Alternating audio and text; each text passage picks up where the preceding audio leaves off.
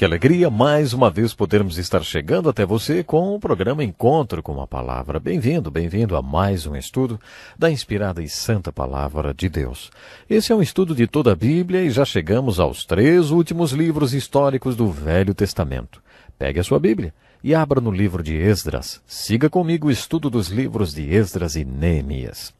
Há algum tempo eu comentei que os doze livros históricos do Velho Testamento podem ser classificados em três grupos. Primeiro, temos os três livros históricos chamados de livros históricos alegóricos: Josué, Juízes e Ruth. Além de serem históricos, eles também apresentam verdades alegóricas. Temos depois os seis livros históricos chamados de livros histórico-literários do Reino. Já terminamos a leitura e o estudo desses livros. Restam ainda mais três livros históricos para estudarmos. Esses livros são classificados como livros históricos pós-cativeiro. O cativeiro babilônico foi um dos acontecimentos históricos mais importantes na história dos hebreus. Quando chegarmos aos livros dos profetas, estaremos preparados para encaixá-los dentro do contexto descrito nos livros históricos, porque já os estudamos. Quando localizamos os profetas historicamente, descobrimos que eles podem ser classificados como pré-cativeiro, durante o cativeiro e pós-cativeiro. À medida que você se familiarizar com a história dos hebreus, perceberá que o cativeiro babilônico foi um marco. Os três livros históricos pós-cativeiro são Esdras, Neemias e Esther. Os livros Esdras e Neemias foram denominados a sinopse dos evangelhos do Velho Testamento, porque os conteúdos desses dois livros, o mesmo fato histórico.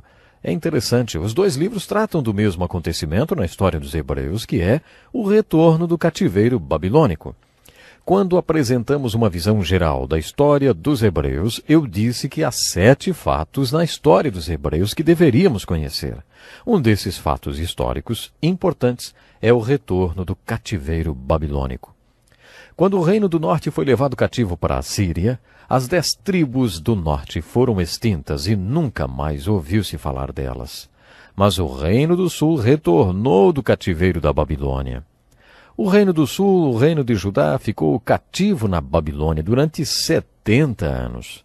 Então a Babilônia foi conquistada pela Pérsia, e assim que Ciro o Grande tornou-se imperador, lançou um decreto dizendo que todo o povo hebreu que estava cativo na Babilônia, atual Pérsia, estava livre para voltar e reconstruir o seu templo, sua cidade e sua nação. Muitas pessoas voltaram com as bênçãos de Ciro o Grande. Na verdade, Ciro ajudou financeiramente o povo nessa reconstrução. Quando falamos do retorno do cativeiro babilônico, temos que ter uma perspectiva histórica desse assunto. Ao iniciarmos a leitura dos livros de Esdras, Neemias e Esther, precisamos ter em mente que o retorno do cativeiro babilônico ocorreu em três partes. Houve três retornos diferentes do cativeiro babilônico.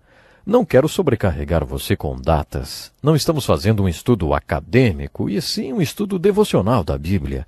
Sempre procuro enfatizar a aplicação prática e devocional, mas mesmo assim precisamos estabelecer uma perspectiva histórica para que vocês não venham se confundir. Primeiro, há um retorno do cativeiro babilônico logo que Ciro o Grande decretou a liberdade dos judeus. Esse retorno foi liderado pelo governador Zorobabel e pelo sumo sacerdote Jesua. Não é Josué, é Jesua. O primeiro retorno ocorreu por volta de 537 a.C. e tinha como propósito explícito a reconstrução do templo. Assim que começou a reconstrução do templo, surgiu um movimento de oposição e perseguição ao povo hebreu, isso dispersou aqueles que estavam voltando. Eles pararam a reconstrução até que os profetas Ageu e Zacarias entraram em cena. Graças em grande parte à ministração desses dois profetas, o trabalho foi finalizado em 516 a.C., 21 anos depois de ter sido começado. Procure entender a perspectiva histórica. 37 anos depois, Esther tornou-se rainha da Pérsia. Isso foi em 479 a.C. Em 458 a.C., Esdras liderou o segundo retorno do cativeiro babilônico. Deus organizou o primeiro retorno para a reconstrução do templo. Então Zorobabel e o sacerdote Jesua retornaram do cativeiro e em 21 anos o templo foi reconstruído. Mais tarde, Deus quis implementar o um ministério dinâmico naquele tempo e por isso Esdras, que era um grande mestre das Escrituras, liderou o segundo retorno. Isso ocorreu 71 anos depois do primeiro retorno. Esse segundo retorno, sob a liderança de Esdras, ocorreu 58 anos depois que a reconstrução do templo foi concluída. Neemias liderou o terceiro retorno, 13 anos depois do segundo. Era o terceiro. O propósito desse terceiro retorno era reconstruir os muros ao redor da cidade de Jerusalém. O seu retorno ocorreu 92 anos após o primeiro retorno e 71 anos depois da restauração do templo ter sido concluída. Ageu e Zacarias estavam envolvidos na reconstrução do templo, mas o profeta que estava envolvido na reconstrução dos muros de Jerusalém junto com Neemias era Malaquias. Os livros de Esdras e Neemias deveriam ser estudados paralelamente, porque possuem muitas semelhanças. Veja quais. A primeira é que, assim como os livros e crônicas, o autor desses dois livros foi a mesma pessoa, Esdras. Os estudiosos dizem isso porque o estilo de linguagem do hebraico nos dois livros é muito semelhante. Ambos lidam com o mesmo acontecimento da história dos hebreus, o retorno do cativeiro babilônico. Eles também são semelhantes porque o tema central dos dois livros é a obra que Deus está realizando. Nos dois livros, a obra de Deus é a reconstrução. Nos livros de Esdras e Neemias, a ênfase está nos padrões e princípios do homem que executa a obra de Deus. Se você está pensando em se envolver no trabalho de Deus, você precisa ler os livros de Esdras e Neemias. Eles apresentam princípios que devem ser seguidos. Nos livros de Esdras e Neemias, esses princípios são aplicados na construção do templo e dos muros da cidade. Hoje Deus está construindo sua igreja no mundo em que vivemos. Esses princípios devem ser aplicados quando a obra de Deus é executada através de homens. Não importa se Deus está construindo um templo, um grande ministério, muros ao redor de uma cidade ou uma igreja. Outra semelhança entre os livros de Esdras e Neemias é que ambos apresentam ótimos modelos de liderança. Hoje, assim como nos dias em que os juízes julgavam em Israel, a liderança está falida. Hoje o povo de Deus precisa de modelos de liderança presentes sempre. E esses modelos nós encontramos nos livros de Esdras e Neemias. Esses líderes, Esdras e Neemias, eram diferentes no estilo de líder e dos talentos que eles tinham. Dentro de suas áreas de atuação, ambos foram ótimos líderes. Esdras era um escriba, um professor da palavra de Deus. Seu trabalho era mais voltado ao pastoreio. Neemias era um construtor pragmático e prático, um leigo. Esdras era um sacerdote e Neemias era um membro da congregação. Em Atos capítulo 6, lemos que os apóstolos decidiram que não deveriam mais administrar o programa de alimentação. Eles não deveriam largar a palavra de Deus para servir às mesas. Eles convocaram o povo de Deus e anunciaram: Irmãos, escolham entre vocês sete homens de bom testemunho, cheios do espírito e de sabedoria Passaremos a eles essa tarefa e nos dedicaremos à oração e ao ministério da palavra. Todos os dons espirituais são espirituais, mas alguns dons espirituais são pastorais e outros são práticos. Esses dois grandes líderes ilustram essa distinção. Esdras é um exemplo de alguém com dom pastoral. Neemias era tão espiritual quanto Esdras, mas era um leigo prático e pragmático. Neemias era um construtor. Ele é um exemplo de gente que faz. Esses dois líderes eram muito diferentes. Mas, mesmo sendo tão diferentes, ambos são ótimas fontes de estudo de liderança. Continuando a destacar as semelhanças entre os livros de Esdras e Neemias, ambos relatam um grande avivamento e estruturaram seus livros também de maneira muito semelhante. Nos primeiros capítulos, temos o corpo básico dos livros, onde o trabalho de Deus é concluído. No mesmo lugar, nos dois livros, depois que o trabalho de Deus foi concluído, o povo afastou-se de Deus. Em Esdras, no capítulo 9, e em Neemias, também no capítulo 9, os dois líderes lamentaram o comportamento do povo de Deus. Suas orações de confissão e arrependimento provocaram um grande avivamento no meio do povo de Deus. Ainda mais uma semelhança que eu gostaria de destacar. Os dois livros mostram um imperador pagão concedendo permissão, sendo solidário e oferecendo ajuda para que o trabalho de Deus pudesse ser feito através do povo de Deus. No primeiro livro histórico do Velho Testamento, Deus queria ser o rei dos filhos de Israel. Mas eles quiseram ter um rei humano, como as outras nações. Então Deus disse: Se os seus reis me obedecerem, eu trabalharei através deles. Mas Deus não encontrou um rei que o obedecesse. Depois de ter sido rejeitado pelo povo como rei, na época em que os livros de Esdras e Neemias foram escritos, Deus está usando reis pagãos para governar sobre Israel. Ciro, o Grande, era um imperador pagão e Deus trabalhou através dele. Deus trabalhou através de reis pagãos nos dois livros. Os dois livros iniciam-se no distante país do Império Persa e ambos acabam em Jerusalém. Jerusalém é onde a história realmente acontece. Assim como os quatro livros do reino e os livros de crônicas, esses dois livros mostram os dois lados da nação.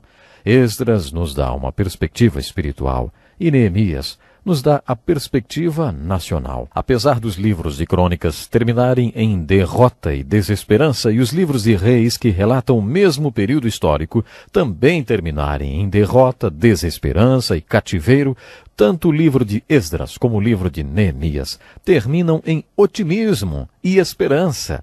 No final dos livros de Esdras e Neemias, tudo parecia muito bem para o povo de Deus.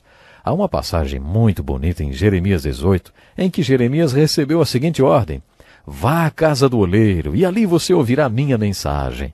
Então Jeremias foi até a casa do oleiro. Jeremias pregava sermões usando símbolos. Era assim que ele exercia o seu ministério de profeta, de pregador.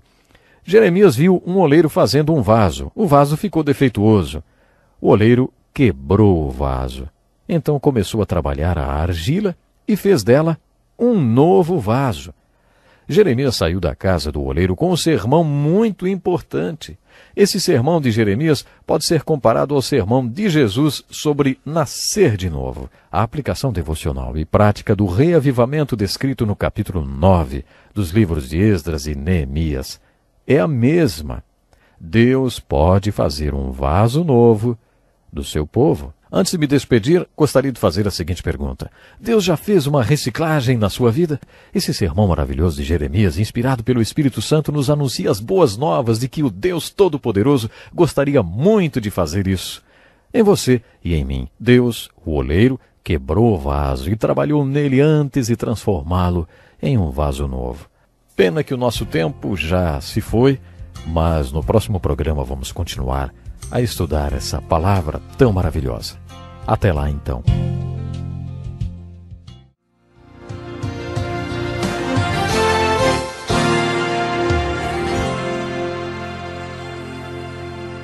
Muito bem-vindo para mais um encontro com a palavra, nosso estudo da Santa Palavra de Deus. Estamos estudando toda a Bíblia e o nosso estudo já nos trouxe até o livro histórico de Esdras. No estudo de hoje gostaria de focalizar o livro de Esdras. Apesar dos livros de Esdras e Neemias serem muito semelhantes, eles também possuem algumas diferenças. Por isso gostaria de estudar cada uma dessas distinções. Esdras não pôde ser sacerdote e nem exerceu sua função de sacerdote hebreu como faria em condições normais. Ao invés de entrar em desespero e dizer, é, acho que Deus morreu, nós lemos no capítulo 7, versículo 10, que Esdras tinha decidido dedicar-se a estudar a lei do Senhor e a praticá-la, e a ensinar os seus decretos e mandamentos aos israelitas. Esse versículo descreve a vida de Esdras. Visualize sua vida como uma torta cortada em três pedaços. Passamos um terço de nossas vidas com nossos pais, sendo nutrido por eles. Outro terço da nossa vida passamos com nosso companheiro ou companheira, criando os nossos filhos.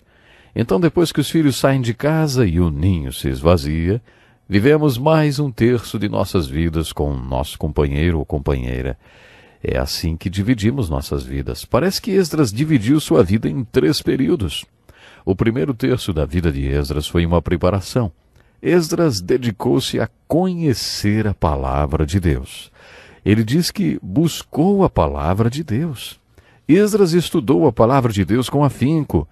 Ele considerou esse período de sua vida como um período de preparação.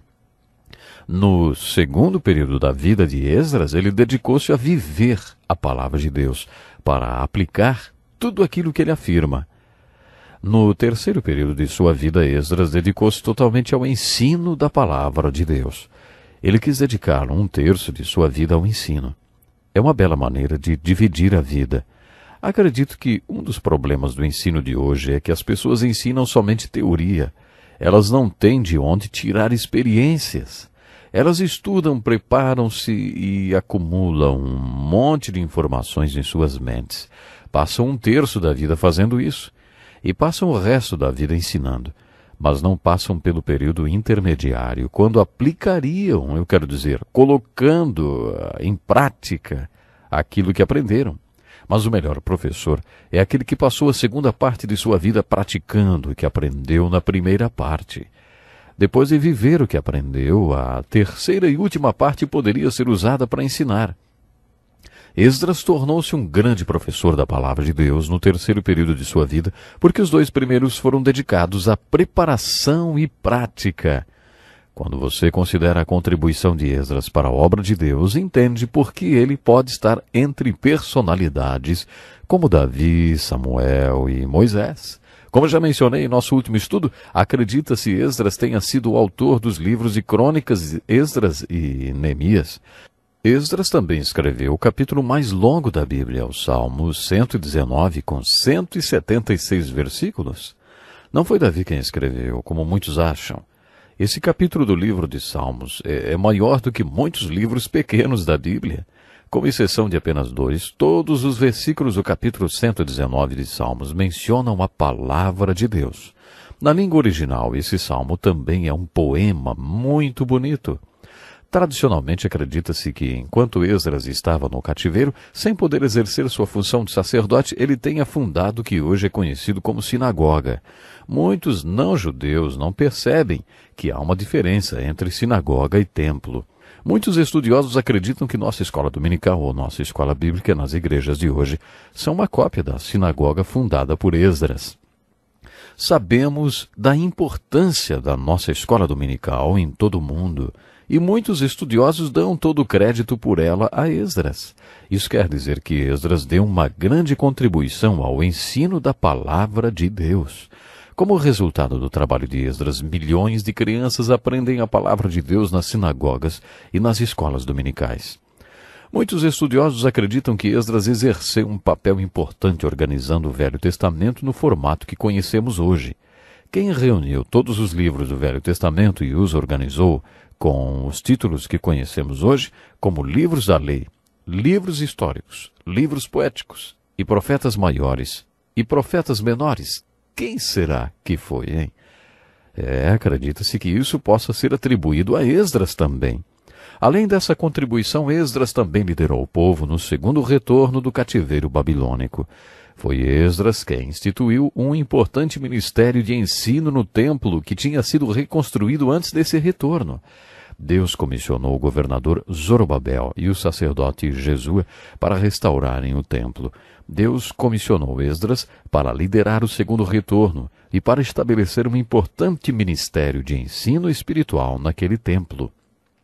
Esdras levou uma equipe de sacerdotes e escribas que com ele, após o retorno, ensinavam a palavra de Deus. O livro de Esdras tem uma mensagem relacionada à obra de Deus. Se você está interessado em trabalhar para Deus, também vai se interessar por esse resumo do livro de Esdras. O primeiro princípio para quem quer fazer a obra de Deus é: quando há uma obra de Deus para ser feita, Deus será o primeiro a tomar a iniciativa desse trabalho. O apóstolo Paulo afirma em Romanos capítulo 11: Pois dele, por ele e para ele são todas as coisas. A ele seja glória para sempre. Amém. Esse é um dos meus versículos favoritos. Nesse texto, Paulo está dizendo que Deus é a fonte de todas as coisas. Ele é o poder por trás de tudo. E a glória de Deus é o propósito de todas as coisas. À medida que amadureço e estabeleço prioridades para minha vida, quer dizer, como vou usar meu tempo, energia, força, chego à conclusão que não quero estar envolvido em nenhum trabalho, a não ser que tenha certeza que Deus é a fonte daquele trabalho, Deus é o poder por trás daquele trabalho e a glória de Deus é o seu objetivo. Acredito que foi assim que Esdras priorizou a sua vida. Esdras esperou até que teve certeza que era Deus quem estava movendo tudo por trás de um segundo retorno do cativeiro babilônico para instituir um importante ministério de ensino no templo que tinha sido restaurado. Estou afirmando isso baseado nos primeiros versículos do livro de Esdras. Encontramos aqui no livro de Esdras o segundo princípio para o trabalho de Deus. Quando Deus está se movendo por trás de uma obra que Ele quer que os homens façam, ele dá uma orientação bem clara para aqueles que a realizarão. Esse é um princípio muito importante referente ao trabalho de Deus. Esse princípio está confirmado em vários trechos das Escrituras. No Novo Testamento, em Mateus capítulo 6, verso 33, Jesus disse a seus discípulos: Busquem, pois, em primeiro lugar o reino de Deus e a sua justiça, e todas essas coisas lhes serão acrescentadas. Jesus quis dizer que devemos colocar o reino de Deus em primeiro lugar, junto com aquilo que Deus nos mostrou que é certo. Então, quando sabemos o que Deus quer que façamos e fazemos o que é certo aos seus olhos, Ele dá tudo o que precisamos para que o trabalho seja realizado.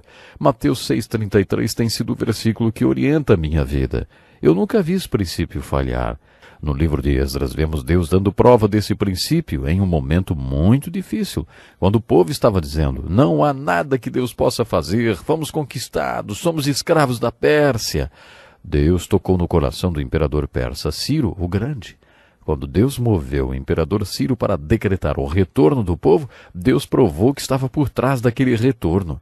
Ao mesmo tempo, Deus moveu o coração de Ciro de tal forma que ele deu tudo o que era necessário para que a obra de Deus fosse realizada.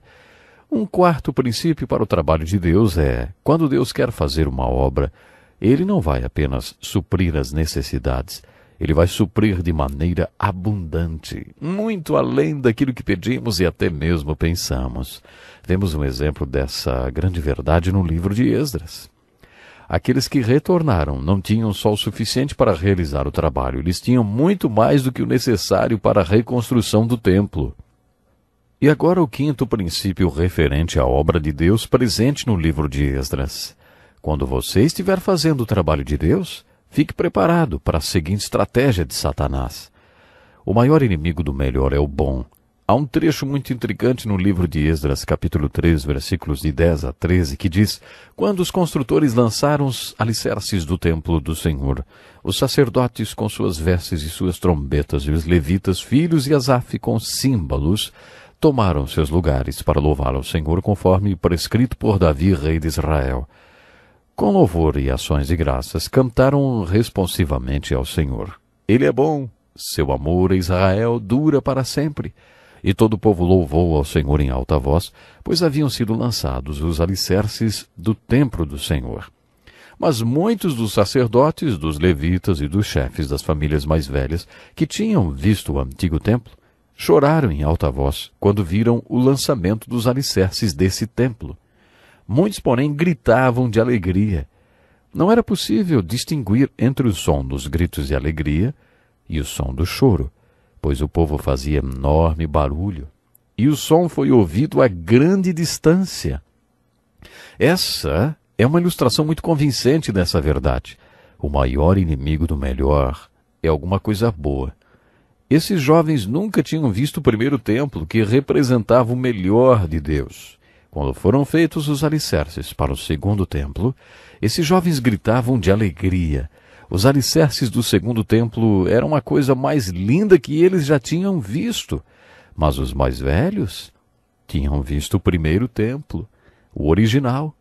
Eles choraram porque o segundo templo não era nada comparado ao primeiro.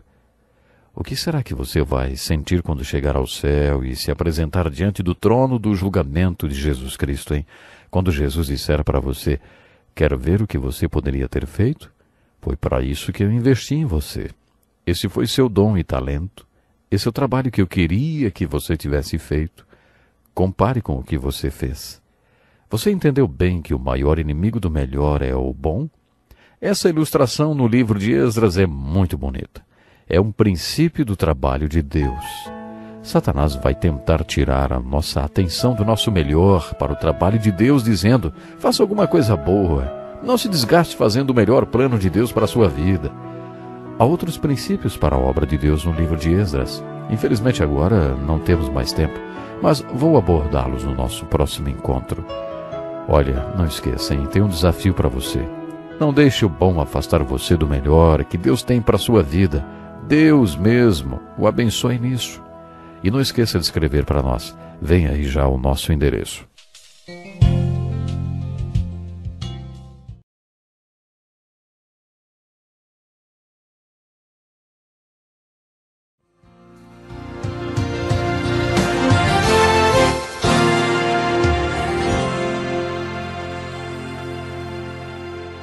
Estamos começando mais um encontro com a palavra e este é o momento de você pegar a sua Bíblia.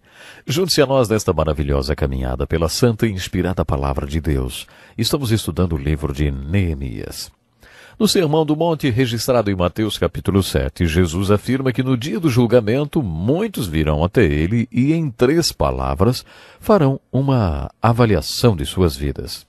Essas três palavras serão realizamos muitos milagres.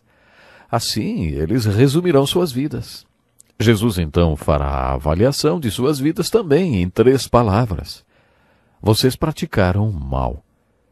E falará: Nunca os conheci. Afastem-se de mim. Essas palavras de Jesus são muito impressionantes. Elas nos alertam quanto à possibilidade de alguém trabalhar para o mal enquanto acha que está envolvido em obras maravilhosas para Deus. O Dr.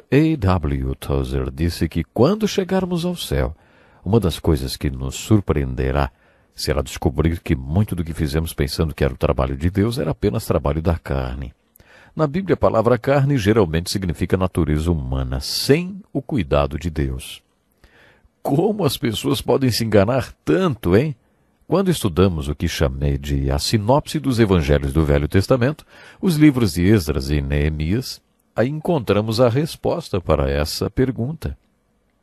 Em nosso último estudo analisamos esses dois livros. Uma das coisas que eles têm em comum é o tema que é a obra de Deus. O livro de Esdras nos mostra alguns princípios que devem ser aplicados por alguém que deseja realmente fazer a obra de Deus. O livro de Neemias nos mostra as características do líder que Deus procura para que sua obra seja realizada, quer ela seja realizada através de uma pessoa ou de um povo. Estudamos os livros de Esdras e de Neemias juntos porque esses dois livros do Velho Testamento são gêmeos. Já vimos em que os dois são semelhantes. Agora vamos começar a analisá-los separadamente. Em nosso último estudo, vimos os cinco princípios que devem ser aplicados por alguém que deseja realizar a obra de Deus. Vimos que Deus, que age por trás de tudo, sempre dará evidências claras para que aqueles que serão agentes do seu trabalho possam realmente fazer o trabalho. Vimos que o terceiro princípio é que Deus faz os primeiros movimentos por trás de tudo, dando orientações claras a respeito do seu trabalho. Deus também provê todas as condições necessárias para que sua obra seja realizada. Depois observamos o quarto princípio que funcionará se a obra do povo for realmente uma obra de Deus. Deus não apenas supre, Deus provê infinitamente mais do que tudo que pedimos ou pensamos. O apóstolo Paulo nos exorta a entendermos as estratégias de Satanás. Não podemos ignorar os artifícios do inimigo. Ele é enganador. Satanás gosta de imitar e de enganar. Uma das maneiras que Satanás usa para tirar nossa atenção do melhor de Deus para as nossas vidas é: o maior inimigo do melhor é o bom. Quando Deus está trabalhando através de você, você experimenta o melhor de Deus. Satanás não quer que você viva o melhor de Deus. Ele é muito esperto e sabe que não vai impedir que você faça a obra de Deus tentando você roubar um banco ele vai tentar você a fazer alguma coisa boa. Se Deus quer que você seja um médico missionário e se isso é o melhor de Deus para a sua vida, Satanás vai tentar você a ser um bom médico. Ele usará alguns dos seus melhores amigos para dizerem: Ei, nós precisamos de bons médicos aqui. Por que é que você tem que exercer sua carreira no norte do Paquistão? Você vai tratar deles, mas eles nunca se converterão. Ao norte do Paquistão, a menos de 300 quilômetros da Rússia, China e Afeganistão, Conheci alguns médicos, quatro deles eram cirurgiões que estavam servindo a Deus naquela região há 25 anos. Eles não tinham visto nenhum muçulmano se converter, mas estavam tratando de muçulmanos desde que se convenceram de que Deus tinha um lugar para eles ali e que estavam cumprindo o chamado de Deus naquele lugar. Eles me disseram que Satanás estava sempre usando os amigos e a família, através de cartas ou durante suas férias em casa, dizendo as mesmas palavras que eu usei anteriormente. Ei, nós precisamos de bons médicos aqui. Eu gostaria de continuar falando desse princípio do livro de Esdras sobre fazer a obra de Deus e não a do homem. Um sexto princípio que Esdras apresenta para nós está intimamente ligado ao princípio que acabamos de ver. Fique sempre preparado para a oposição que virá quando você tentar fazer a obra de Deus. Algumas vezes, quando as pessoas se dispõem a fazer a obra de Deus, assim que encontram oposição, perguntam: será que eu não entendi o sinal? Não segui bem as orientações? Será que estava tudo errado? Essas perguntas sugerem que a pessoa achava que não haveria oposição alguma quando está fazendo a obra de Deus. Há uma força do mal nesse mundo que trabalha através das pessoas, assim como o poder de Deus e do bem também trabalha através das pessoas. Se Satanás se opõe a tudo que Jesus Cristo está fazendo e quer fazer, deveríamos esperar oposição quando Cristo trabalha através de nós. Algumas pessoas que se opõem a você não percebem que estão sendo embaixadoras de Satanás. Quando Jesus disse a seus discípulos que iria morrer em uma cruz, perguntou: quem os outros dizem que o filho do homem é? Pedro respondeu: Tu és o Cristo, filho do Deus vivo. Jesus disse: Feliz é você, Simão, porque isso não lhe foi revelado por carne ou sangue, mas por meu Pai que está nos céus. E eu lhe digo que você é Pedro, e sobre essa pedra edificarei a minha igreja, mas que elogio, hein? Jesus quis dizer. Queria construir sua igreja sobre o fato de que um homem como ele podia receber tal revelação. Mas quase na mesma hora o Senhor começou a explicar que era necessário que ele fosse para Jerusalém e sofresse muitas coisas e que fosse morto. Pedro disse mais ou menos assim: O Senhor está louco! Pedro se opôs a Jesus. Então o Senhor disse uma coisa muito forte para Pedro. Ele nem sequer o chamou pelo nome. Jesus disse: Para trás de mim, Satanás. Você é uma pedra de tropeço para mim. E não pensa nas coisas de Deus, mas nas dos homens. Jesus disse isso a Pedro quase no mesmo momento em que falou: Feliz é você, Simão, porque isto não lhe foi revelado por carne, mas por meu Pai que está nos céus. E logo a seguir Jesus disse: Para trás de mim, Satanás. Você não pensa nas coisas de Deus, mas nas dos homens. Quando você decide fazer a obra de Deus, encontra muita oposição, na maioria das vezes, de pessoas.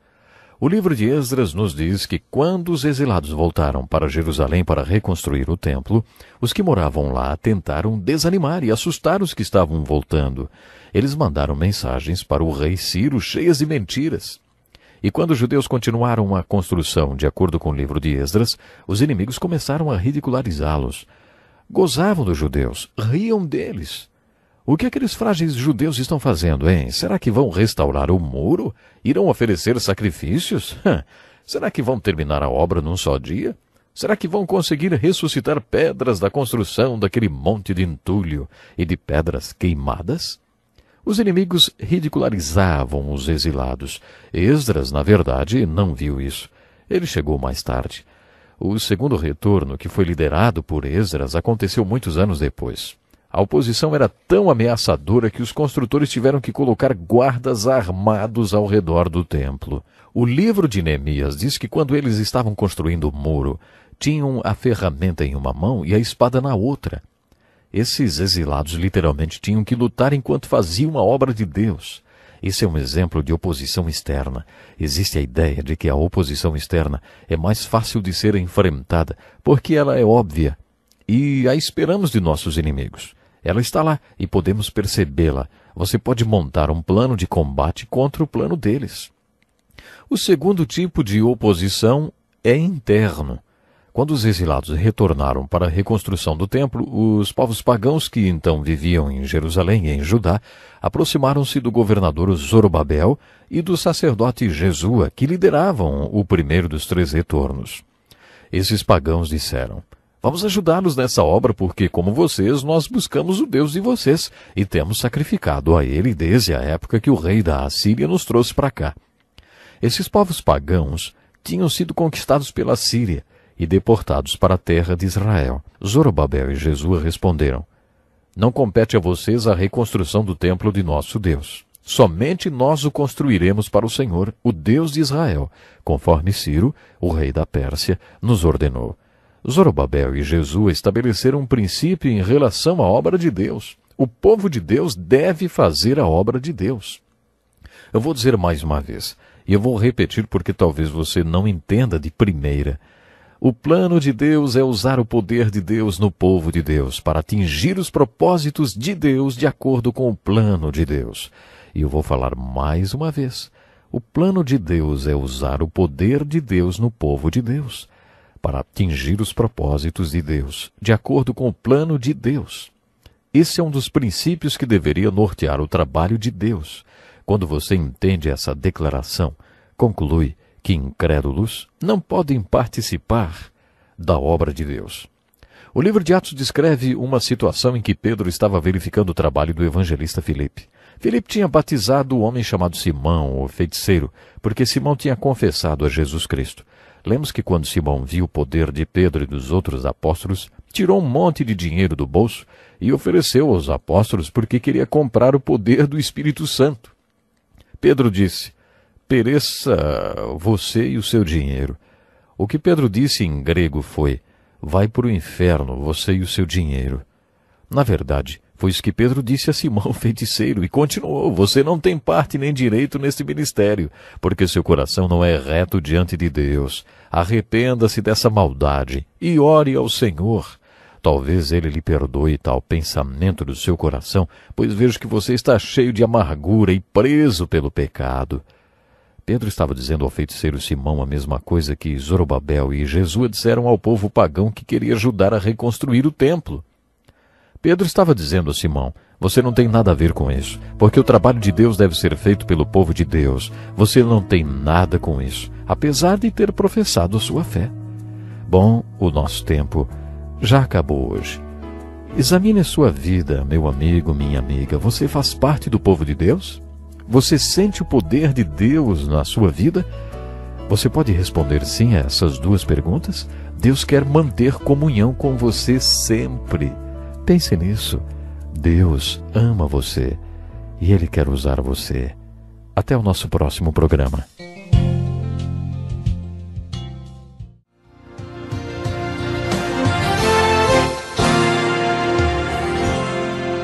Muito bem-vindo para mais um programa Encontro com a Palavra. Este é um estudo do mais maravilhoso livro do mundo, a Bíblia. Nosso estudo já nos trouxe até o livro de Esdras, onde descobrimos princípios padrões que nos mostram se o trabalho com o qual estamos envolvidos é ou não um trabalho de Deus. Quando o nosso último estudo terminou, estávamos analisando o princípio padrão de um trabalho genuíno e autêntico de Deus. Um autêntico trabalho de Deus é conduzido por verdadeiros crentes e seguidores de Cristo. Incrédulos não participam de um trabalho de Deus genuíno. Essa é uma das razões para a igreja de hoje estar tão fraca. Creio que uma das fraquezas da igreja atual seja o fato de ser formada por uma mistura de pessoas. É quase impossível encontrar uma igreja que não seja formada por um grupo misto de pessoas. Pessoas salvas e não salvas. Jesus profetizou isso em sua parábola do joio e do trigo. Nessa parábola a pergunta foi: O Senhor quer que tiremos o joio? E a resposta: Não, porque ao tirar o joio vocês poderão arrancar com ele o trigo. Deixem que cresçam juntos até a colheita. Os dois juntos, trigo e joio. O joio é muito parecido com o trigo. Jesus falou: Deixem os dois crescerem juntos, um dia vou separá-los. Por isso, é de se esperar que a igreja seja uma mistura de pessoas. Mas há um princípio padrão para a obra de Deus que explica por que nossas igrejas são tão fracas hoje. Em muitas de nossas igrejas não há qualquer critério na inclusão de um novo membro. Ninguém mais fala que a igreja é para os que creem. Com a aproximação da igreja da sociedade, existe o interesse em incluir na igreja os líderes das comunidades, pessoas, pessoas de prestígio, com dinheiro, que possuam reconhecimento. Querem que essas pessoas sejam líderes das igrejas sem se importarem se são convertidos ou não. A igreja não pergunta mais: você realmente crê em Jesus Cristo? Você crê que Jesus Cristo é o seu Salvador e quer que ele seja o Senhor da sua vida? É, as igrejas deixam passar a oportunidade de confrontar as pessoas com esse veredito da fé em Cristo. Estamos estudando no livro de Esdras o princípio padrão que diz que o trabalho de Deus deve ser executado pelo povo de Deus e não por qualquer pessoa que queira fazer parte da obra de Deus simplesmente porque é um bom negócio ou porque é politicamente correto. Imagine um profissional que precise conhecer muita gente. Um ortodontista, por exemplo, que não crê em Cristo, mas que precisa conhecer famílias com filhos pequenos. Esse profissional pode querer se tornar um superintendente de escola dominical de uma grande igreja de seu bairro, porque ele quer conhecer essas famílias. Conseguir isso seria muito fácil para ele, porque a maioria das igrejas da região ficaria orgulhosa em tê-lo como membro. Isso seria a quebra de um dos princípios padrões que Esdras nos ensina em seu livro. Agora, dá para você entender por que Jesus dirá para aquelas pessoas que alegaram terem feito grandes coisas: Nunca os conheci, afastem-se de mim, vocês que praticam o mal. O princípio padrão número 7 é: Deus faz os primeiros movimentos. O Deus que orienta e que provê tudo que é necessário para que sua obra seja feita derrubará qualquer oposição contra a sua obra. Essa promessa, a princípio tão bonita, encoraja e traz esperança para os servos do Senhor que fazem a obra de Deus, combatendo a oposição com fé, espalhados por todo o mundo. Como servo do Senhor, creio nesse princípio de todo o meu coração. Baseado em minha própria experiência, creio sinceramente que quando Deus faz o primeiro movimento e orienta em direção à sua obra, ele provê tudo o que é necessário para que o trabalho seja feito. Pela graça de Deus, tenho vivido esse princípio padrão muitas vezes em minha vida e em meu ministério. Eu creio que o mesmo Deus de Esdras e de Neemias pode derrubar qualquer oposição ao seu trabalho hoje, como ele fez nos dias de Esdras e Neemias. A maravilhosa derrubada de oposição ao seu trabalho que Deus fez está ilustrada em Esdras capítulo 6, versos 6 até o 8. A mensagem tinha sido enviada ao governador Ciro dizendo que os judeus eram um povo rebelde, que tinham uma história de rebelião e aconselhava Dário a não deixar os judeus reconstruírem o templo. A oposição inventou muitas mentiras contra os judeus.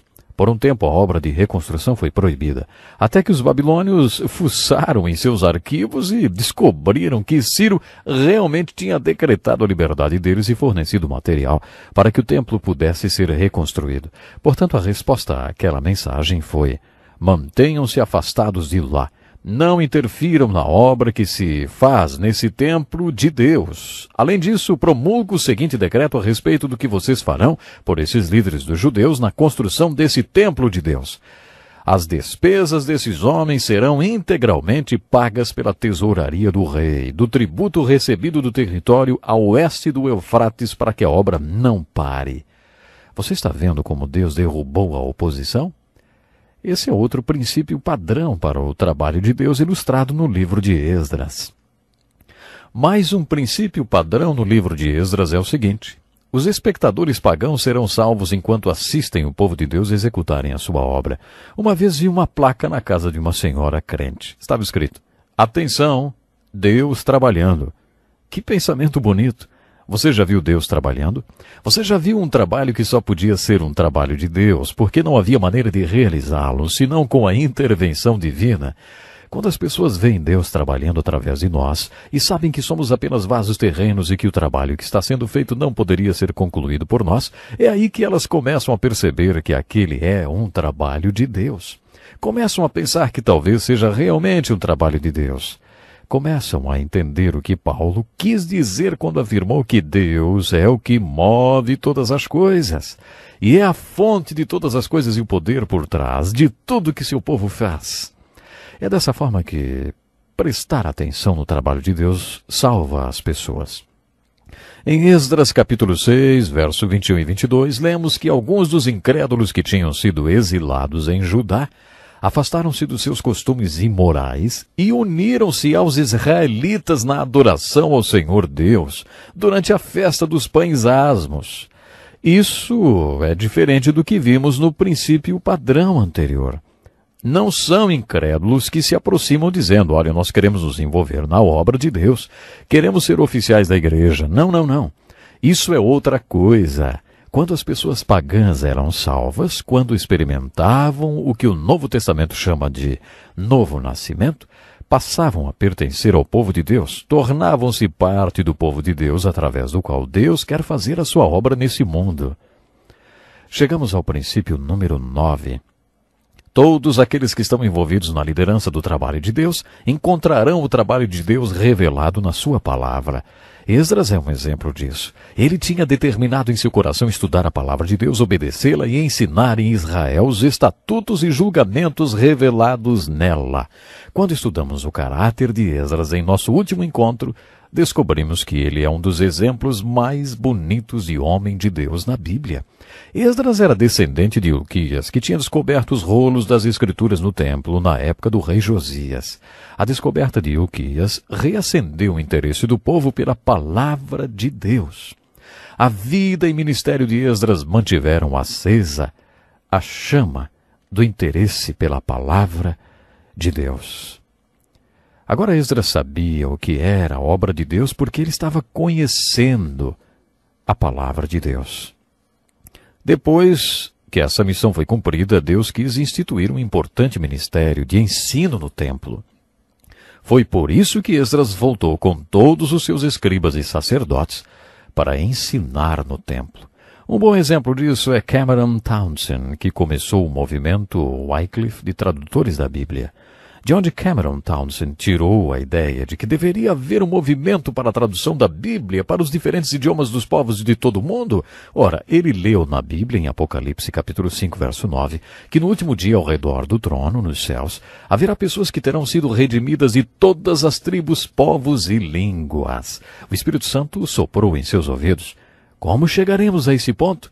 É claro que eles ouvirão o Evangelho em seu próprio idioma. Cameron Townsend teve a visão dessa obra. Ele ficou incomodado com a necessidade de oferecer a linguagem escrita para todos os diferentes povos do mundo, de ensiná-los a ler e a traduzir a palavra de Deus para o seu idioma. O décimo primeiro princípio, padrão, está associado à palavra de Deus e é muito realista. Descobrimos que esse princípio padrão para a obra de Deus no livro de Esdras é verdadeiro e tem sido ilustrado através da história da igreja. Geralmente, depois que a obra de Deus é concluída, ele permite que seu agente humano caia, para que fique claro para todos que a excelência do poder era de Deus e não do homem. Você percebe isso no livro de Esdras e no livro de Neemias, porque nos dois livros, depois que a obra foi concluída, o povo afastou-se de Deus. O povo de Deus assimilou aqueles costumes horríveis dos povos pagãos que viviam naquela terra. Mais ou menos no mesmo ponto dos dois livros de Esdras e Neemias, você lê a descrição da queda moral e espiritual do povo. Esse é um padrão triste e sério na vida de muitos dos grandes homens de Deus. Pode ser que Deus queira nos mostrar que Ele é a fonte do trabalho e nós somos apenas vasos, vasos terrenos. Há outra razão para isso acontecer, dessa vez por causa de Satanás. O princípio padrão número 12 para a obra de Deus no livro de Esdras é esse. Depois que Deus trabalhou através de um homem e concluiu a obra de Deus na terra através deste homem, o inimigo, Satanás, gosta de tirar o crédito do instrumento dessa obra. Uma vez ouvi um pastor dizer em uma grande conferência para pastores: Tome muito cuidado com o que você fala depois de ter sido usado pelo Espírito Santo em um culto ou em uma pregação, hein? É comum as pessoas falarem as coisas mais estúpidas depois de terem pregado um ótimo sermão. Várias semanas depois fiz uma ótima pregação no culto da manhã de um domingo. Depois do culto, enquanto cumprimentava as pessoas na saída do templo, cumprimentei a um casal.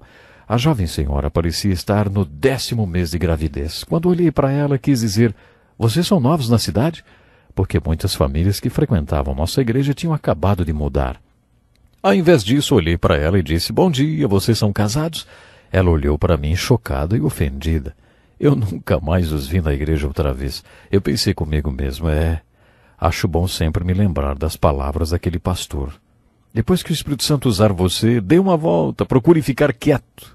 Qualquer coisa menos tentar ser sociável, para evitar que você fale alguma besteira. Resumindo tudo isso, que Esdras está nos dizendo é: o plano de Deus é usar o poder de Deus no povo de Deus para cumprir os propósitos de Deus de acordo com o plano de Deus. Você faz parte do povo de Deus? Você tem consciência do fato que é um canal do poder de Deus? Espero que você possa responder sim a estas perguntas. Deus está esperando que você venha ser um canal, um canal de muitas bênçãos, para ser usado por Ele. Até o nosso próximo programa.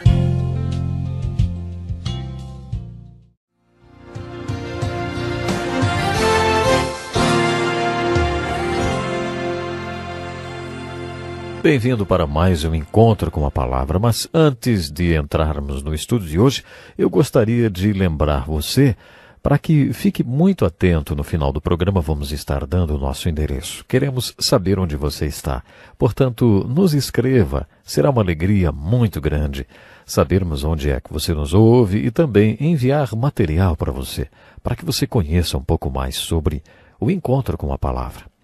Hoje estudaremos sobre os livros de Esdras e Neemias, na qual nós já estamos estudando durante alguns programas. Portanto, pegue sua Bíblia, acompanhe conosco mais um encontro com a palavra. O plano de Deus é usar o poder de Deus no povo de Deus para cumprir o propósito de Deus de acordo com o plano de Deus. Essa é a mensagem básica da sinopse dos evangelhos do Velho Testamento, os livros de Esdras e Neemias. Esdras e Neemias são dois lindos personagens da Bíblia. Os dois são importantes fonte de ensino de liderança. Eles possuem padrões de liderança diferentes. Esdras possui o padrão de liderança pastoral. Esdras era escriba, professor. Ele liderou o povo, principalmente em seu ministério de ensino da palavra de Deus. Há muitas maneiras de liderar o povo de Deus. Um pastor pode liderar o povo de Deus porque é um grande líder. Ele pode liderar o povo de Deus porque possui um dom espiritual de liderança. Ele pode liderar o povo de Deus porque é um evangelista e pode liderar o povo de Deus porque é um bom professor. Esdras possui o padrão de liderança do ensino. Esdras também liderou o povo de Deus com o seu exemplo. Quando o povo de Deus precisou de reavivamento, ele saiu às ruas e prostrou seu rosto em terra diante de Deus na chuva, e jejuou e orou e chorou por causa dos pecados do povo. Ali, um a um, as pessoas uniram-se a ele. Isso deu início a um grande reavivamento. Foi assim que Esdras trouxe reavivamento para o povo. Neemias era um líder diferente. Quando ele era governador, o povo precisava de um reavivamento. Os judeus tinham se casado com pessoas pagãs dos outros povos quando estavam na Babilônia e também depois de terem retornado de lá. Esses casamentos mistos incomodavam muito Neemias. Ouçam como Neemias trouxe reavivamento. Naqueles dias vi alguns judeus que haviam se casado com mulheres de Asdod, e Amon e de Moabe. Metade dos seus filhos falava a língua de Asdod ou a língua de um dos outros povos e não sabiam falar a língua de Judá. Eu os repreendi e invoquei maldições sobre eles. Bati em alguns deles e arranquei os seus cabelos. Fiz com que jurassem em nome de Deus e lhes disse: Não consintam mais em dar suas filhas em casamento aos filhos deles, nem haja casamento das filhas deles com seus filhos ou com vocês. Dá para perceber que Neemias tinha um estilo de liderança bem diferente da de Esdras. Eu não conheço muitos pastores com esse estilo de liderança, mas era esse o estilo de Neemias. Você pode dizer que Esdras foi o arquiteto da obra de Deus e que tirou a planta desta obra da palavra de Deus. Mas Neemias foi o construtor. Neemias era mais prático. Ele era um pragmático homem de Deus. Neemias era o executor espiritual. Ele acreditava em pôr a mão na massa e só parar quando a obra de Deus estivesse pronta. Esses dois homens são excelentes modelos de liderança, mesmo sendo tão diferentes. Agora que vamos estudar o livro de Neemias, devemos procurar os princípios ou atributos de liderança que Deus quer encontrar no homem quando uma obra importante precisa ser executada. Leia o livro de Neemias e veja quais são essas características. Chamei o livro de Neemias de O Perfil de um Líder para a Obra de Deus. Essa é a primeira característica que Deus deve encontrar em uma pessoa quando quer alguém para liderar uma obra como a que ele quis executar nos dias de Neemias. Deus procura pessoas preocupadas com a obra que ele quer fazer. Como pastor, quando as pessoas me procuram para dizer: Pastor, devemos fazer alguma coisa em relação aos jovens, estamos preocupados com eles. Quase sempre eu peço para que as pessoas venham trabalhar com os jovens. O que tenho percebido é que as pessoas que se preocupam com a obra geralmente são aquelas que Deus está chamando para fazer aquele trabalho específico. Um dos primeiros sinais de que Deus quer fazer uma obra através de você é você estar sempre preocupado com aquele trabalho. Portanto, como pastor, sempre procuro pessoas preocupadas com o trabalho específico que precisa ser feito. Se Deus deu a você uma preocupação por um trabalho em especial que precisa ser feito e se você está orando por ele, pode ser que Deus queira que você seja parte da resposta da sua oração. Vamos à segunda característica que Deus deve encontrar em uma pessoa quando ele quer um líder para sua obra. Quando Deus quer uma pessoa para liderar, ele deve ter uma palavra, uma palavra de Deus com respeito à obra que ele quer que seja feita. Eu já disse isso em nosso último programa. As pessoas que fazem grandes obras para Deus, especialmente aqueles que descobriram obras grandes para serem realizadas, encontraram a visão desse trabalho na palavra de Deus. Elas tiveram revelação na palavra de Deus sobre a obra de Deus. Isso está ilustrado no livro de Neemias. Neemias mostrou que tinham uma grande preocupação com a obra de Deus. Em Neemias 1 e 4, nós lemos o que aconteceu quando ele soube que os muros de Jerusalém estavam derrubados e que a cidade era um monte de entulho. Quando ouvi essas coisas, ele diz: Sentei-me e chorei. Passei dias lamentando-me, jejuando e orando ao Deus dos céus. Com isso, vemos que Neemias se importava ele não era indiferente, ele realmente se importava e se preocupava com a obra de Deus. A seguir, lemos no capítulo 1, versículo 8 e 9, que Deus coloca a seguinte verdade no coração de Neemias: Jerusalém é o lugar que escolhi para viver e a minha cidade está em ruínas. Neemias recebe a palavra de Deus referente à obra que Deus queria que ele fizesse. Deus queria que Neemias reconstruísse os muros ao redor de Jerusalém. Vamos à terceira característica que Deus deve encontrar na pessoa que irá liderar a sua obra. Deus deve encontrar uma pessoa comprometida com a obra que ele quer que seja feita. O homem ou mulher líder da obra de Deus deve preocupar-se com a obra de Deus. Essa pessoa deve ter recebido uma palavra de Deus com respeito à dele e deve estar comprometida com esta obra quando Deus lhe mostrar qual é. Neemias nos mostra seu comprometimento com a obra de Deus quando Deus revela qual é a obra a ser feita. Neemias nos mostrou seu comprometimento com a obra de Deus quando era copeiro do imperador.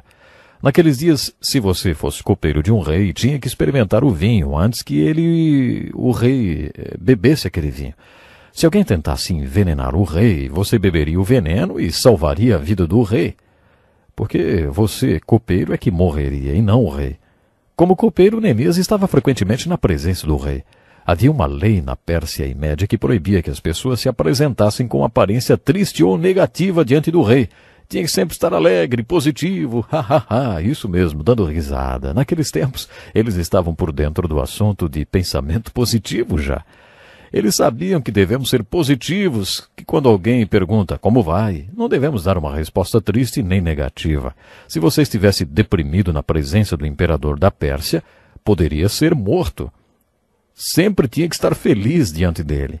No segundo capítulo de Neemias, lemos que um dia o imperador olhou para Neemias e disse: Por que seu rosto parece tão triste? Neemias conta que teve muito medo. O rei disse: essa tristeza só pode ser do coração. Neemias escreveu assim: Com muito medo, orei ao Deus dos céus. Nessa hora, Neemias mostra seu comprometimento. Como não estaria triste o meu rosto se a cidade em que estão sepultados os meus pais está em ruínas e as suas portas foram destruídas pelo fogo? Neemias poderia ter sido morto por isso. Basicamente, ele disse: Sim, sim, eu estou muito triste. E eu vou dizer por quê. Neemias poderia ter sido executado naquela hora, Por isso ficou com tanto medo e respondeu em atitude de oração. Mas o Senhor estava com Neemias. Foi o que a resposta do rei mostrou. O rei perguntou: O que você gostaria de pedir? Depois de uma oração rápida, Neemias respondeu: ah, se for do agrado do rei, se o seu servo puder contar com a sua benevolência, que ele me deixe ir à cidade onde meus pais estão enterrados, em Judá, para que eu possa reconstruí-la. Você provavelmente já conhece a história. O imperador não só concedeu o pedido a Neemias, como também forneceu tudo o que ele precisava. Deus abençoou Neemias por causa do seu comprometimento com a obra do Senhor. Fica claro que Deus incomodou Neemias com aquela preocupação com a obra dele e o moveu para comprometer-se, sim, comprometer-se com a obra que Deus queria que fosse realizada. Veremos agora a quarta característica que Deus deve encontrar na pessoa que fará sua obra. Onde não há visão, o povo perece. O líder da obra de Deus tem que ter uma visão. O líder de Deus não apenas terá essa visão, como compartilhará essa visão com outros. O líder sempre divulga sua visão a respeito da obra de Deus. Quando ele voltou para Jerusalém, nós lemos o seguinte: Eu não contei a ninguém o que Deus havia posto em meu coração que eu fizesse em Jerusalém. Ele se referia à visão. Então eu lhes disse. Nesse momento, Neemias compartilha sua visão. O povo de Deus respondeu: Sim, vamos começar a reconstrução. E começaram a trabalhar. Neemias foi um líder com uma visão da obra e compartilhou a sua visão com o povo de Deus. A quinta característica do líder de Deus é que ele é um líder com seguidores que estão envolvidos na obra de Deus ao seu lado. Quando um líder tem uma visão de Deus e compartilha essa visão, o povo de Deus o segue. A sexta característica encontrada no líder de Deus é uma pessoa que sofre crítica quando lidera a obra de Deus. Se você não aguenta críticas, então não faça nada.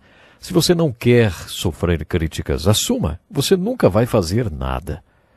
Assim que você começar a fazer qualquer coisa, principalmente a obra de Deus, como aconteceu com Esdras, deve se preparar para enfrentar oposição e críticas.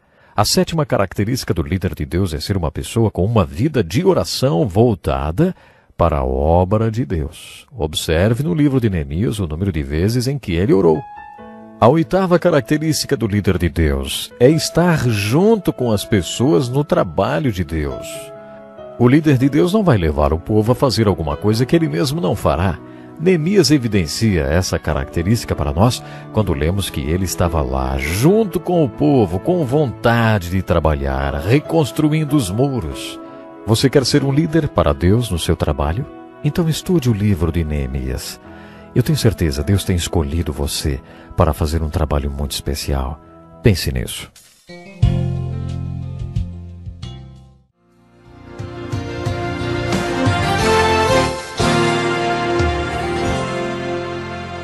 Muito bem-vindo a mais um estudo da Santa Palavra de Deus. Quando o nosso último estudo acabou, estava compartilhando com vocês algumas características que um líder deve ter. E essas características estávamos observando na vida de Neemias. Já vimos nove dessas características em nosso último estudo. Dando continuidade, passaremos à décima característica do líder de Deus. Ele deve ser totalmente dedicado à obra de Deus. Ouça esses versículos do capítulo 4. Dessa maneira, prosseguíamos o trabalho com metade dos homens empunhando espadas desde o raiar da alvorada até o cair da tarde. Naquela ocasião, eu também disse ao povo: Cada um de vocês e o seu ajudante devem ficar à noite em Jerusalém, para que possam servir de guarda à noite e trabalhar durante o dia. Eu, os meus irmãos, os meus homens de confiança e os guardas que estavam comigo, nem tirávamos a roupa, e cada um permanecia de arma na mão. Essa acaba sendo uma ilustração muito perfeita do que significa dedicação. Observe que Neemias diz nós quando descreve essa definição. Essa definição de dedicação, vamos dizer assim. Ele estava fazendo tudo o que aquele povo dedicado também fazia. Neemias foi um líder muito dedicado à obra de Deus. A décima primeira característica é: o líder de Deus é uma pessoa com visão objetiva. A visão objetiva pode ser uma característica negativa ou positiva. Adolf Hitler tinha uma visão objetiva. Hitler tinha seus objetivos bem focalizados. Ele ignorou tudo que seus generais e conselheiros tentaram lhe dizer. Adolf Hitler não ouviu nada do que o resto do mundo em sã consciência tentava falar para ele. A visão objetiva em um homem como Adolf Hitler é muito negativa. Mas a visão objetiva pode ser uma característica positiva de um homem de Deus que está fazendo a obra de Deus. Neemias estava focado em um objetivo que não o deixava tirar os olhos daquilo que Deus tinha colocado no seu coração. Ninguém conseguia tirar Neemias da obra de reconstrução do muro. Ouvimos Neemias dizer: Estou executando uma obra e não posso descer. Por que parar a obra para ir encontrar-me com vocês? Muitas pessoas tentaram de todas as formas enganá-lo e fazê-lo descer do muro, mas não conseguiram desviá-lo do seu objetivo. Ele tinha o seu objetivo bem focado e ignorava o que aquela gente dizia. O que aqueles frágeis judeus estão fazendo? Será que vão restaurar o seu muro? A vida de Neemias ilustra positivamente a visão objetiva. Nunca vou me esquecer da primeira vez que ouvi sobre visão objetiva. Há muitos anos ouvi o vice-presidente de um grande estaleiro falar para um grupo de executivos. Ele foi convidado a dar uma palestra para homens de negócios sobre como conseguia contratos tão grandes para construir navios quando as outras construtoras navais não chegavam nem perto daquilo que sua empresa oferecia. Seu estaleiro tinha acabado de fechar um contrato para construir um imenso navio. Um imenso cargueiro, ou seja, 38 milhões mais barato do que a menor proposta concorrente na licitação. Aqueles executivos queriam saber o segredo daquele grande sucesso. O palestrante disse: visão objetiva. Temos que ter uma visão objetiva. Temos que ignorar quando os outros dizem: não dá para fazer desse jeito. Determinação. Esse é um conceito encontrado na Bíblia muito importante. Esse conceito é muito importante em qualquer área. Ouça essa ilustração engraçada sobre determinação. Um agente de seguros amigo meu me disse que um homem deu entrada com um pedido de indenização com uma lista enorme de lesões inimagináveis. A ação indenizatória era por lesões corporais e de um valor muito alto. No formulário, no campo onde dizia causa do acidente, o homem escreveu falta de consciência. O agente escreveu de volta para ele e perguntou: O senhor pode me dar maiores informações sobre esse negócio de falta de consciência? O homem escreveu respondendo: Eu trabalhava como pedreiro. No dia do acidente, eu estava trabalhando sozinho no telhado de um prédio de seis andares. Quando acabei meu serviço, descobri que tinha sobrado um lote de tijolos. Para não ter que carregá-los para baixo à mão, decidi usar a talha no andaime que já estava instalado na lateral do prédio e estacionado no último andar. Depois de amarrar a corda no chão, fui até o topo do prédio outra vez, subi a caçamba e a carreguei com os tijolos. Depois desci novamente para o térreo e soltei a corda, segurando-a com firmeza para que a caçamba com os tijolos descesse bem lentamente. Conforme escrevi no campo 11 do relatório do acidente, meu peso era de 71 quilos. Eu não imaginei que eu pudesse ser puxado para cima tão rápido e na hora não tive a presença de espírito necessária e não soltei a corda. Nem preciso dizer o que aconteceu. Comecei a subir rapidamente para o topo do prédio. Quando estava próximo do terceiro andar, passei pela caçamba que estava descendo rapidamente. Isso explica as fraturas do crânio e a clavícula, mas a subida continuou ainda e muito rápida e só parou quando metade dos dedos da minha mão esquerda entraram na roldana. Isso explica as dilacerações da minha mão. Felizmente, a essa altura, eu recuperei minha presença de espírito e continuei segurando fortemente na corda, apesar da dor. Mas quase que simultaneamente, a caçamba com os tijolos atingiu o chão e o fundo dela se desprendeu. Sem o peso dos tijolos, a caçamba agora estava aproximadamente pesando 20 quilos. Como você pode imaginar, comecei a descer rapidamente pela lateral do edifício. Quando me aproximava do terceiro andar, passei pela caçamba que vinha subindo rapidamente. Isso explica a fratura dos dois tornozelos, os ferimentos nas minhas pernas e quadril.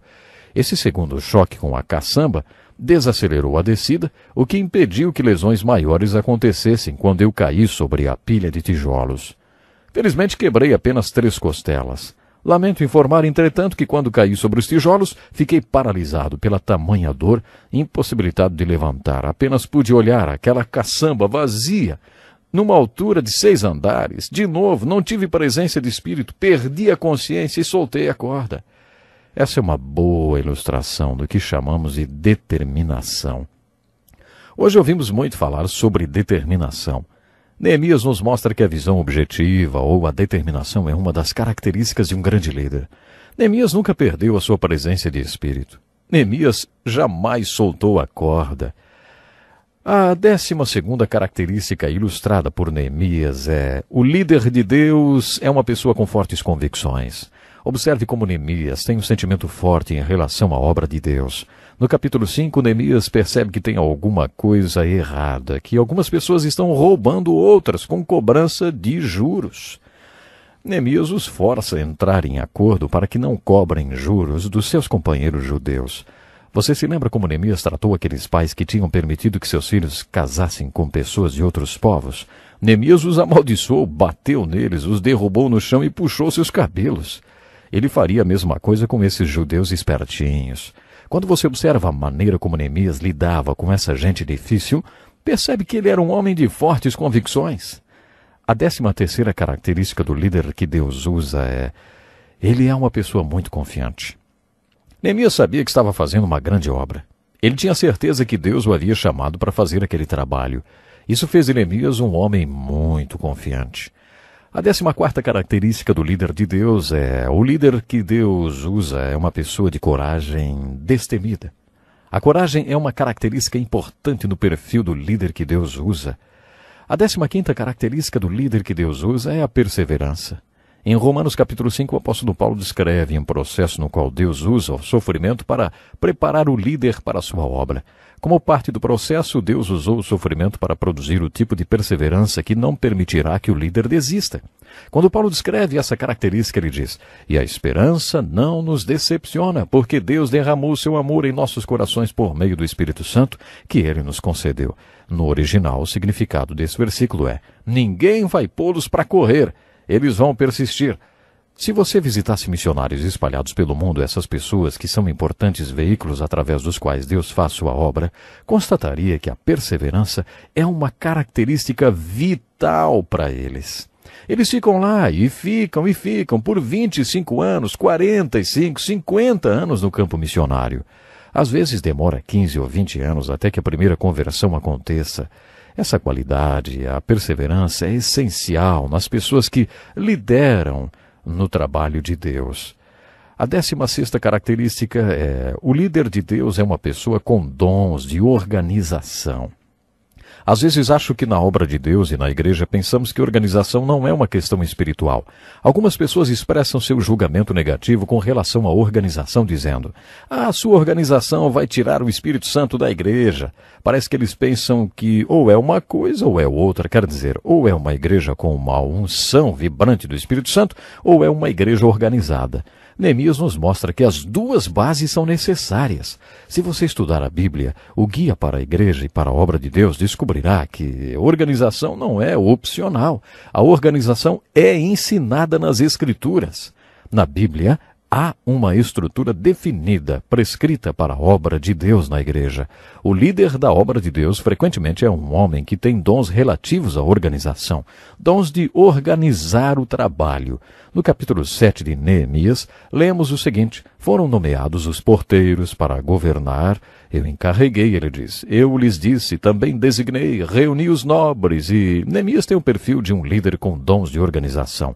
Na Bíblia, os líderes no estilo de Neemias frequentemente apresentam esse dom organizacional. Também são frequentes os, os líderes tipo, tipo Esdras, mas que não têm esse dom.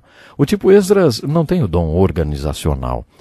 A décima sétima característica do líder que Deus usa é o líder de Deus é uma pessoa que estabelece metas prioritárias.